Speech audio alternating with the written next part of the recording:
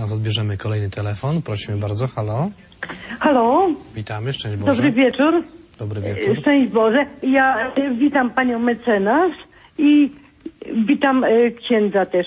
Ja chcę powiedzieć, że ja dzwonię teraz z Austrii, ale mieszkam w ogóle w Polsce. Helena moje imię. I chcę powiedzieć e, pani mecenas, że mi się bardzo nie podoba, co pani mówi, ponieważ ja przepraszam, proszę mnie wysłuchać. Przecież wyście nas wybrali. Proszę pani, my rządzimy, wy się musicie podporządkować. Byśmy wam otworzyli granice, jak wam się nie podoba, to jedźcie.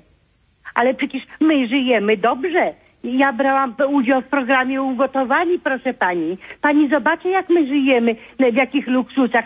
A jak wy, jak ta pani, y, co tam te poszkodowane w czwartek zawsze są, nie wiem, jak ona się tam nazywa, Jaworowicz czy jakoś tam, to jaka, jaką wy macie biedę? Wy sobie nie umiecie radzić.